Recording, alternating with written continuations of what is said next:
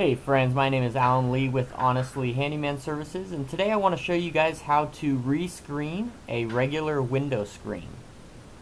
The process is fairly simple.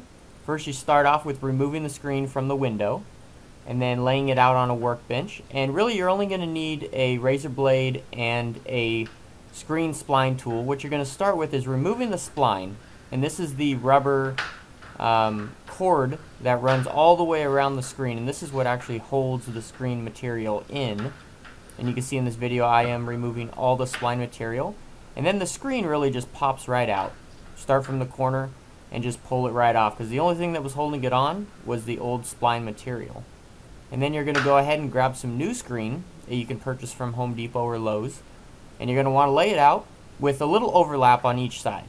I usually leave you know three to four inches of overlap on each side. This is a roll, so just cutting the roll to size, leaving a few inches of overhang on each side. Because if you don't leave enough over overhang, uh, you might end up not having enough screen when you're all done. Because the spline does suck that in when you put new spline on anyways.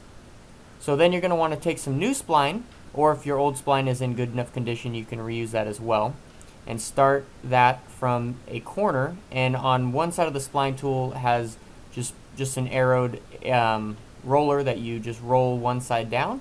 You put your spline in starting on a corner and you just basically roll your spline right down.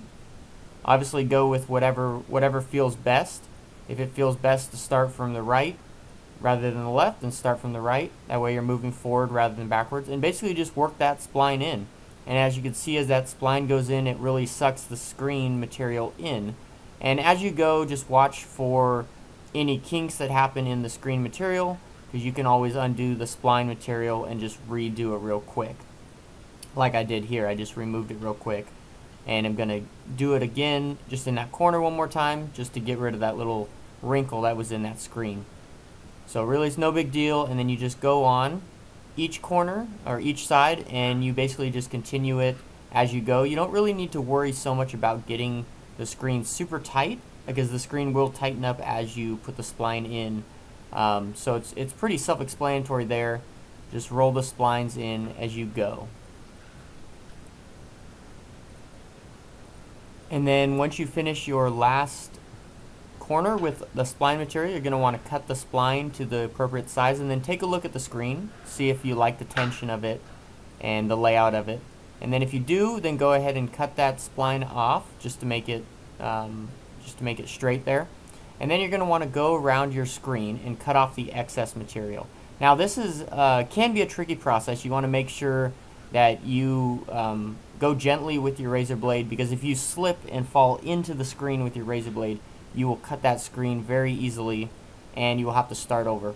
And this does happen from time to time.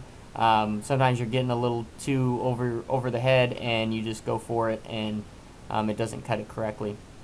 Um, but pretty pretty simple process. You just cut around, cut the excess screen off right at the spline, obviously on the outside of the spline, not the inside of the spline.